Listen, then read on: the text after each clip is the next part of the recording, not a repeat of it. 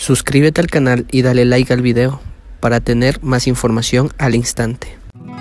Mucha atención amigos y suscriptores, esto es de última hora, acaban de revelarlo.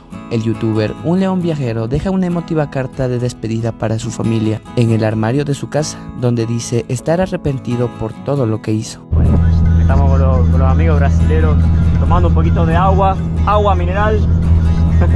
Así es, hace poco un familiar del youtuber argentino Un León Viajero acaba de revelar en redes sociales que el influencer habría dejado una emotiva carta de despedida para sus familiares y amigos en el armario de su casa.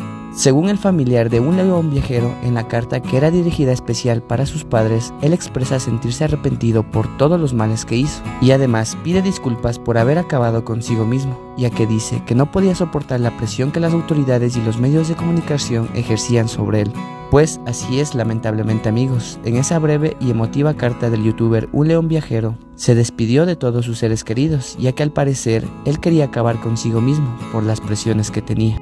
Pero ahora bien, quiero saber en la caja de comentarios si estás de acuerdo que haya acabado consigo mismo o crees que se merecía una segunda oportunidad este argentino youtuber.